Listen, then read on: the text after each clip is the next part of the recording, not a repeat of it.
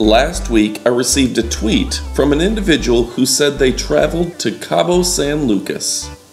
Now, some people know Cabo as a beautiful resort area, but our viewer said he got this from Cabo. Now, he only sent the one picture, but he claims it was growing under his toenail. Is that even possible?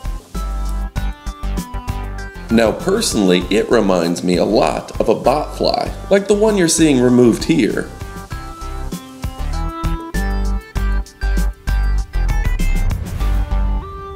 For reference, here are a couple images of what botflies look like.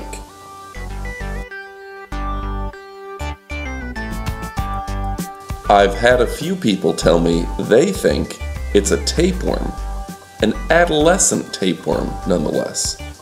Could it be a tapeworm? Here's one last look. Leave a comment below. What are we seeing here? Is this a botfly, tapeworm, or something else? Leave a comment below.